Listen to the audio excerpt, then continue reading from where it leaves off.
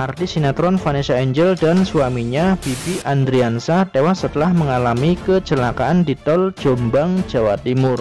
Informasi tentang kematian Vanessa dan suaminya didapat dari patroli jalan raya Polda Jawa Timur.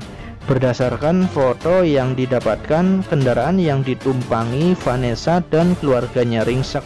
Posisi kendaraannya berada di bahu jalan tol. Kasat PJR di Telantas Polda Jatim AKBP Dwi Sumrahadi membenarkan jika artis itu mengalami kecelakaan. Menurut Dwi, kecelakaan itu dikabarkan ada dua orang meninggal dunia.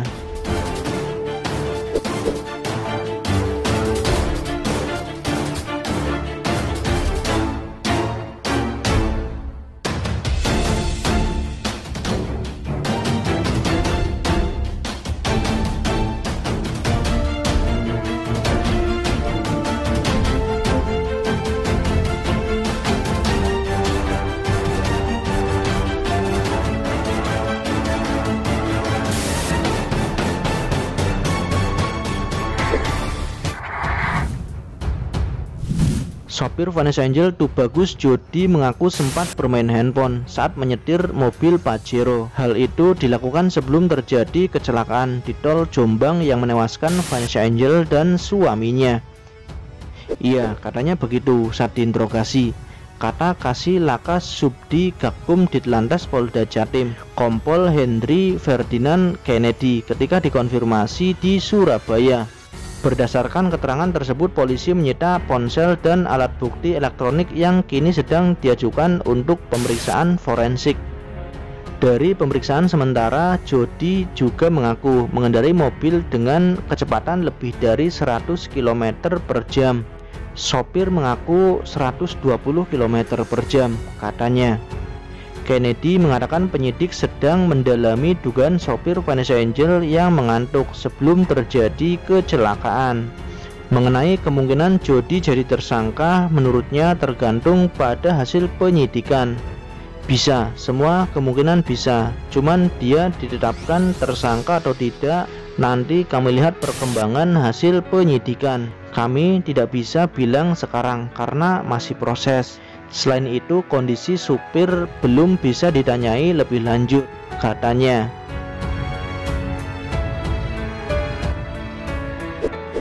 Diberitakan sebelumnya mobil berwarna putih dengan nomor polisi B1284BJU yang ditumpangi Vanessa Angel dan suaminya Febri Ardiansah mengalami kecelakaan tunggal di tol Jombang Mojokerto kilometer 672 pada Kamis 4 November 2021 pukul 12.36 WIB.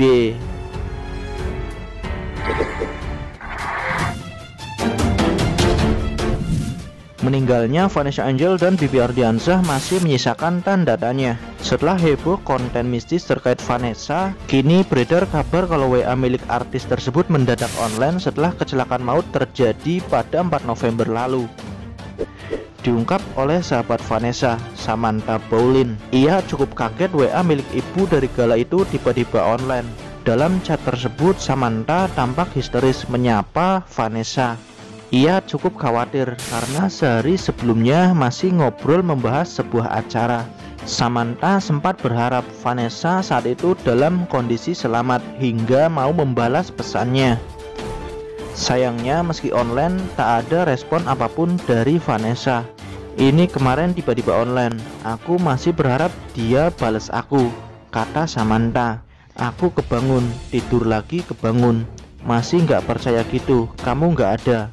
Aku janji November ini ada kerjaan sama kamu. Lah November tanggal 4 kamu pulang duluan.